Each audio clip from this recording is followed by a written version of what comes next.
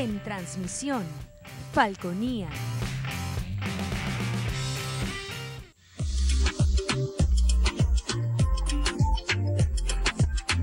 Este programa es de tipo informativo y de opinión, que contiene elementos de lenguaje, salud, sexo y violencia A. Puede ser presenciados por niños, niñas y adolescentes sin la supervisión de sus padres, madres, representantes o responsables. Somos somos Falconía. yeah.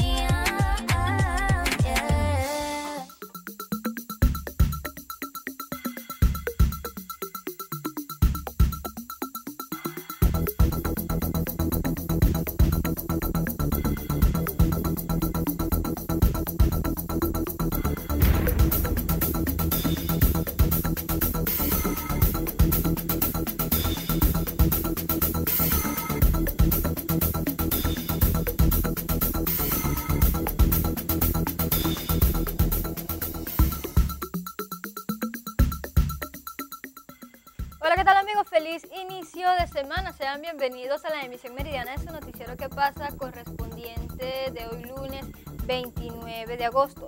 De esta manera damos inicio a las notas más resaltantes hasta el momento y es que el productor de la Academia William Andrade hace un llamado a las autoridades para que ayuden a la Academia a tener mejores estructuras para esta fundación. Mi nombre es Emilio José Belis González. Para todo el mundo saben que soy el hijo del profesor William Andrade, gran cultor de aquí de Paraguaná, de la península.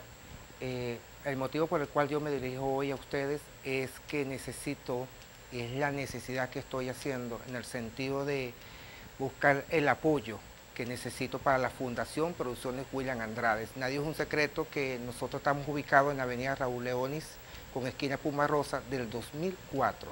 La estructura donde estamos ahorita, actualmente, eh, falta, le hace falta el mantenimiento eh, por dentro y por fuera, la cual yo me dirijo a ustedes, a los entes gubernamentales del Estado Falcón o cualquier institución privada que nos quieran apoyar, dirigirse donde estamos nosotros. Es un patrimonio que dejó este profesor, un maestro en la danza, y yo sigo con este patrimonio, esperando tener respuestas pronto de ustedes, de nuestro alcalde, de nuestro gobernador, que nos atienda el llamado que estoy haciendo.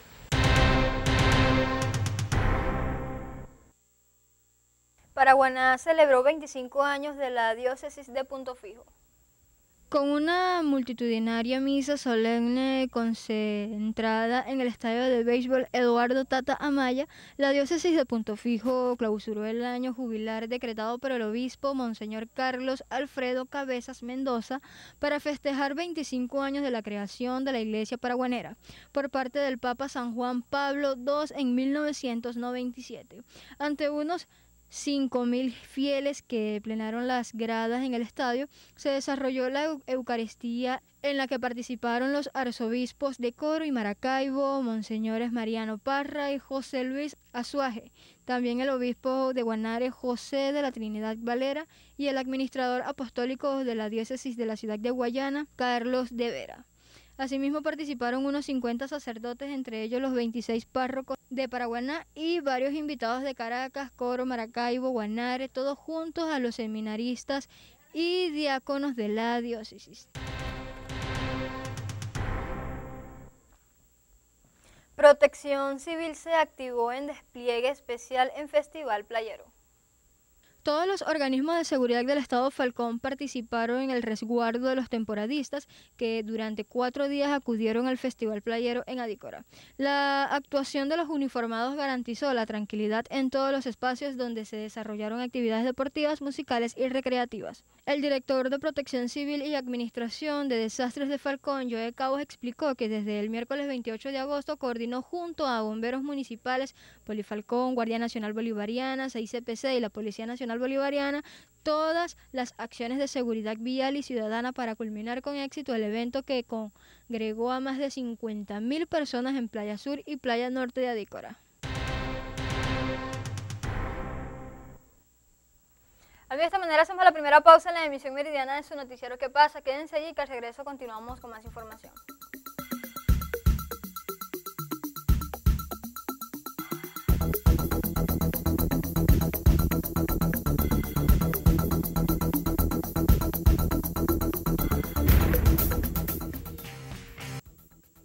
En transmisión, Falconía.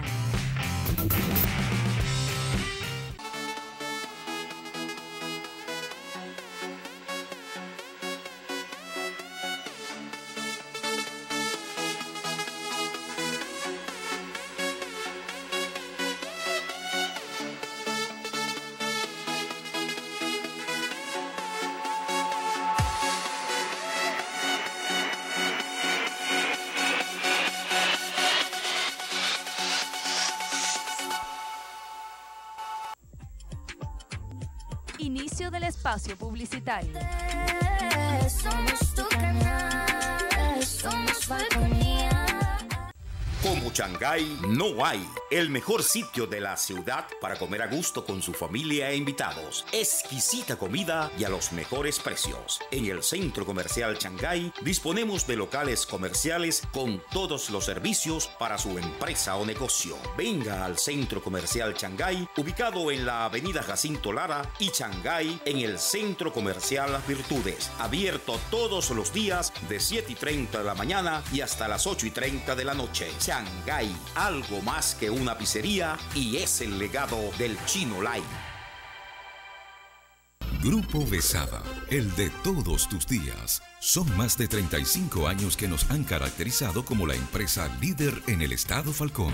Nacimos en la península de Paraguaná. Hemos crecido con nuestras sucursales. Hiper Besada, La Puerta y Bodegón de Nacho Import. Hiper Bodegón Besada, Distribuidora Besada, Besada 2, Bodegón de Nacho de Paraguaná, Farma Besada, Besada Express. Son más de 35 años de siempre recordando de dónde venimos. Somos Grupo Besada, la marca preferida por los paraguaneros y con referencia nacional para los visitantes.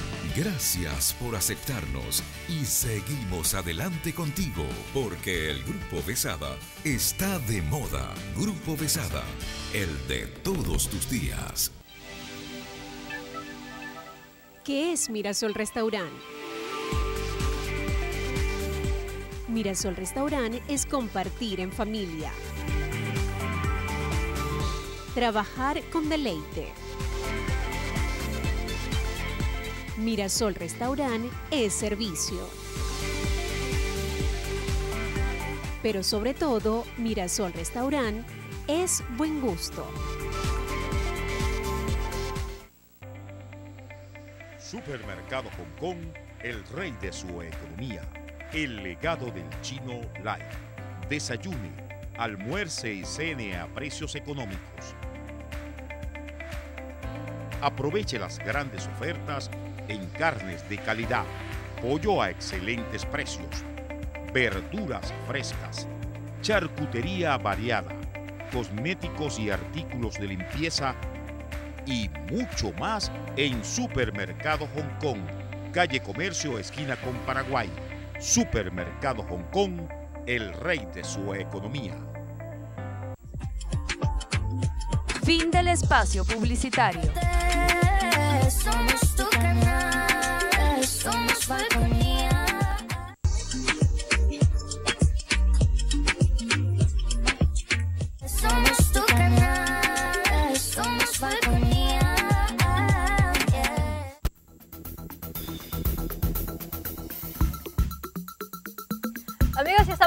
Con más información en su noticiero que pasa, emisión meridiana.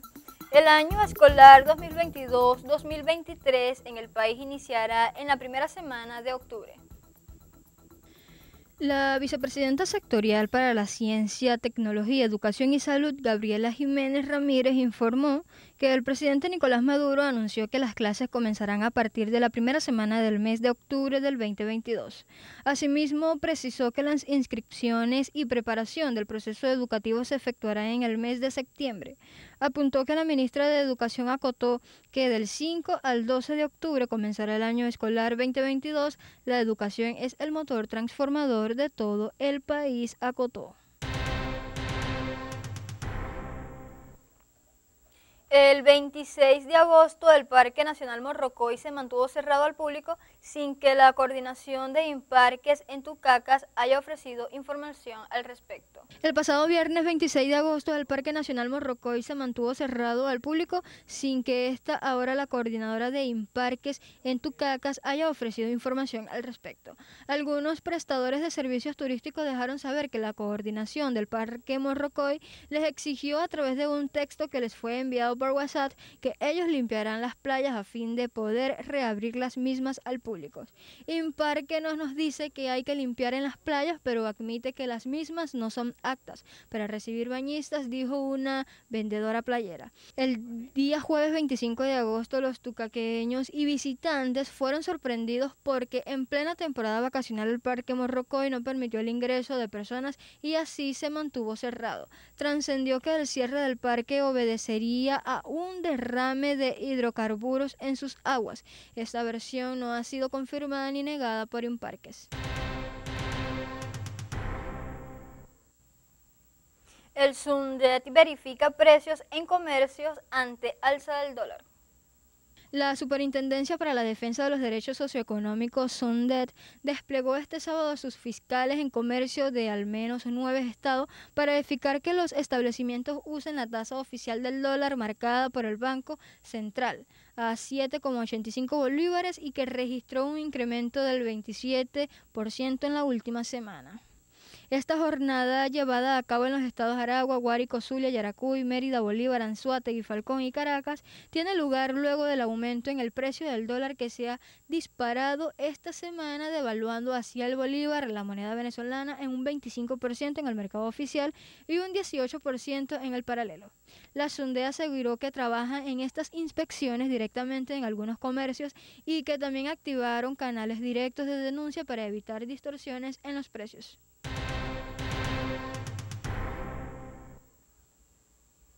Televidentes, y de esta manera hacemos otra pausa en la emisión meridiana de su noticiero que pasa. Les recuerdo que nos pueden seguir en nuestra cuenta en Instagram como arroba Falconía TV para más información. Ya venimos.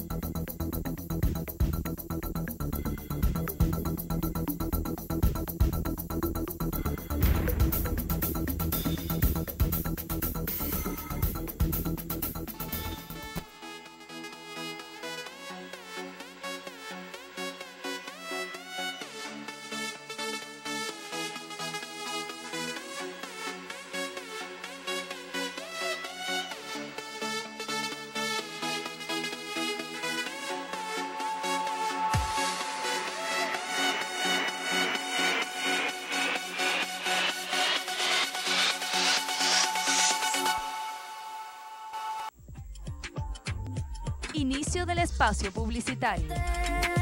Somos tu canal, somos Falconía. UDEFA, la Universidad de Falcón, con el más alto nivel académico, tu gran oportunidad de crecer profesionalmente en carreras como licenciatura en procesos gerenciales, licenciatura en turismo, derecho, ingeniería ambiental e ingeniería electrónica. Somos orgullo de Falcón, UDEFA, la universidad. Caderco es una agencia naviera dedicada a la tramitación de documentos de importación y exportación y debidamente autorizada por el Ministerio de Finanzas. Caderco se afianza como proveedor líder de soluciones integrales en el área de servicios de agenciamiento aduanal y naviero para brindar a nuestros clientes un servicio de excelencia en calidad, agilidad e innovación. ISO 9001-2008, una marca que exalta la excelencia de Caderco. Ahora con la tarjeta Mi Consumo de la Fundadora puedes ganar puntos por recargas o por referir a tus amigos, compartiendo tu enlace desde la aplicación con la nueva modalidad Te Regalo. Por cada 50 puntos que acumules, ganarás 5 dólares que se sumarán automáticamente a tu saldo. Solicítala, recarga tu saldo y refiere a tu grupo de amigos para que salgas ganando. Tarjeta Mi Consumo de la Fundadora, un nuevo concepto a la hora de comprar en cualquiera de los establecimientos que conforman nuestro grupo de empresas.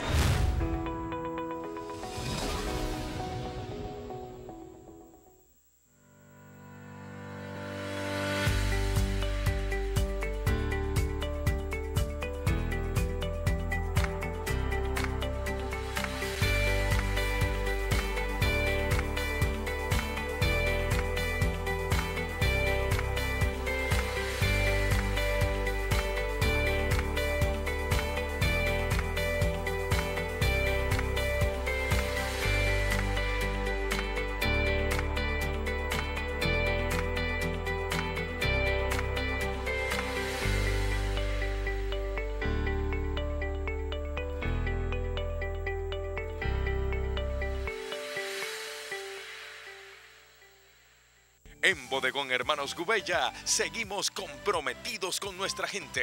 Por ello, no paramos de crecer. Ahora disfruta en la Puerta Maravén de un amplio y cómodo espacio para realizar todas tus compras. Anaqueles repletos de productos importados y nacionales para el hogar, charcutería, hortalizas y mucho más. Bodegón Hermanos Gubella te espera en la avenida Ollarvides de la Puerta Maravén frente a Supercauchos La Puerta. Bodegón Hermanos Gubella, siempre cerca de ti.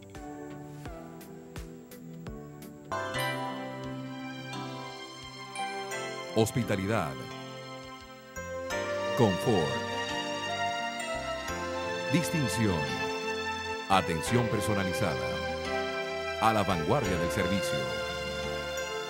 Mirasol Hotel Boutique. Más que un negocio, una experiencia. En la Avenida Intercomunal Ali Primera. Fin del espacio publicitario. Somos tu canal, somos En transmisión, Falconía.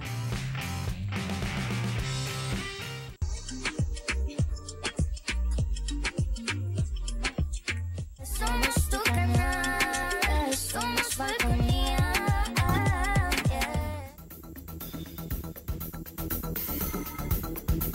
Amigos, estamos de vuelta en la emisión meridiana de su noticiero que pasa de hoy lunes 29 de agosto. Pakistán solicita apoyo a países para afrontar inundaciones. Las inundaciones que está sufriendo han provocado más de mil muertos desde mediados de junio, cuando comenzaron las fuertes lluvias al monzón. Algunos países han prometido ayuda y nos está llegando, pero la necesitamos más para ayudar a millones de personas afectadas por las inundaciones, dijo el ministro de Planificación y Desarrollo, Hassan Iqbal. Estados Unidos, Reino Unido, China y Emiratos Árabes Unidos, entre otros países, han respondido al llamamiento del país pidiendo ayuda, pero se necesitan más fondos para responder a las peores inundaciones que vive Pakistán desde el 2010, año en que más de 2.000 personas perecieron por las inundaciones. El primer vuelo con asistencia y material de socorro tiene previsto aterrizar esta tarde en la base aérea de North Kant en la norteña Kawalpindi, según un comunicado de la oficina del primer ministro. A él se seguirán otros 15 aviones con material humanitario que llegarán en los próximos días procedentes de Emiratos Árabes Unidos. Al menos 1.033 personas han fallecido por todo el país desde el inicio de las lluvias el 14 de junio, 119 de ellas en las últimas 24 horas según el último parte de la Autoridad Nacional de Gestión de Desastres de Pakistán. Las precipitaciones también han dejado 1.527 heridos en estos dos últimos meses. En Aruba interceptaron una lancha con 22 venezolanos y animales exóticos. La Guardia Costera de Aruba interceptó la madrugada de este sábado 27 de agosto una embarcación con 22 personas procedentes de Venezuela que transportaba 28 animales exóticos.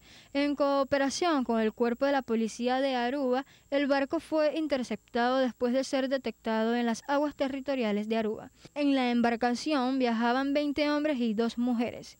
Los guardacostas también encontraron dos monos y 26 pericos que fueron entregados al servicio veterinario de Aruba.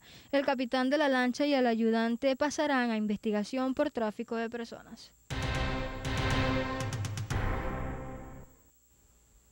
Amigos televidentes, y de esta manera hemos llegado al final de la emisión meridiana de su noticiero que pasa de hoy lunes 29 de agosto. Les recuerdo una vez más que nos pueden seguir en nuestra cuenta en Instagram como arroba para más información y en mi cuenta personal como arroba Gracemar Piso Navas. Quien les habló, Gracemar Navas, hasta una próxima emisión.